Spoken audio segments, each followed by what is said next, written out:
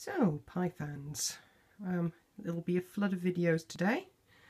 Um, here's the pie pen and the pies and the base.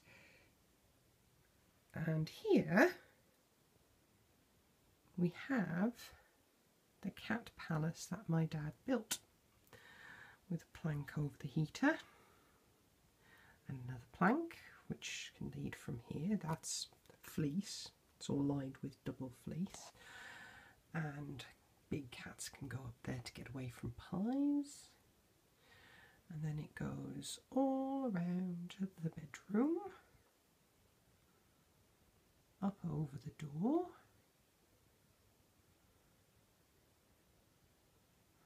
to the cupboard where I still need to put a cat bed. That's one of my jobs today. But yes, they can go all around and sleep above the heater, which is never on full blast, by the way, because obviously cats. So yeah, there we go. That's the new cat palace in the bedroom. We've got another one in the attic, don't we? There we go.